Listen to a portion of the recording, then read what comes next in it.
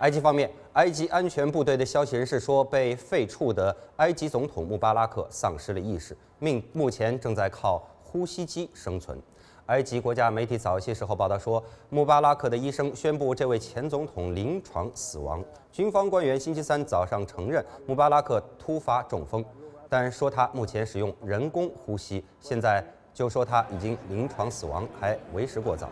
现年八十四岁的穆巴拉克统治了埃及三十年，直到去年二月，在席卷该地区的阿拉伯之春抗议浪潮中被一场革命推翻。他由于没有能够阻止对抗议者的杀戮，而在本月早些时候被判处终身监禁。穆巴拉克在穆斯林兄弟会中的长期伊斯兰对手之前宣称，在